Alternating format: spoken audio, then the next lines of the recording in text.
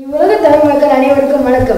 என் பெயர் பாராம் கிஷோர் நான் கேரள புதுப்பள்ளியில் ஏழாம் வகுப்பு படித்து வருகிறேன். இப்போது நான் அறிவியல் கருத்து சார்ந்த ஒரு திருக்குறள் கூறப் போகிறேன். பால் பொருட்பால் இயல் அரசியல்.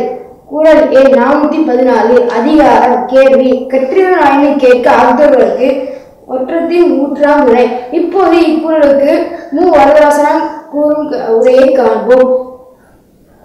நூல்களை கற்கவில்லை ஆயினும் கற்றறிந்தவரிடம் கேட்டறிய வேண்டும். இது ஒரு நாட்டிற்கு தளர்வு ஏற்படும் போது ஊன்றுகோல் துணையாகும். இக்குற இப்போது இக்குறளில் அடங்கியுள்ள அறிவியல் கருத்தை சற்று விரிவாக காண்போம். கேட்டுத்திறன் என்பது ஒருவர் கூறும் கருத்தை மற்றவர்கள் செவியின் வாயிலாக உணர்ந்து கொள்வதாகும். இத்தகைய கேட்டுத்திறனின் வாயிலாக ஒருவருக்கொருவர் அறிவு நிகழ்ச்சியை பரிமாறிக்கொள்ள முடிகிறது. ஒரு மாணவன் கேட்டத்திறனை பெறுவது மிகவும் அவசியம். அதுவும் அதுவும் மொழிப்பாடங்கள் கற்பிக்கும் போது ஒரு மாணவன் கேட்டுத்திறனை பெற்றால் மட்டுமே அவனது பேச்சுத்திறன் வளர்ச்சி அடையும். ஆகவே கேட்டுத்திறனில் முக்கிய பங்கு வகிப்பது காதுகளின் செயல்பாடு. எவ்வாறு நம்மால் கேட்க முடியுது?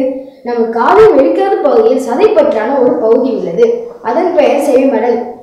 இப்பகுதி ஒலி அலைகளை திரட்டி செவிக்குழலுக்கு செலுத்திய வண்ணம் வடிவமைக்கப்பட்டிருக்கிறது. ஒலி சீக்கிரத்திலேயே செவிப்பறையை சென்றடையும். இந்த ஒலி அலைகள் செவிப்பறையை அதிர்வுற செய்கின்றது. பிறகு இந்த செவிப்பறை நடுக்காதில் உள்ள மூன்று எதிர் எலும்புகளை அதிர்வுற செய்கின்றது. பிறகு இந்த அதிர்வுகள் எலும்பால் மூடப்பட்ட திரவம் நிறைந்த நடுக்காதிற்கு க கடத்தப்படுகின்றது. இந்த இந்த நடுக்காது பகுதியில் நத் நத்தை கூடு போன்ற ஒரு பகுதி உள்ளது. அது பெயர் காக்லியா.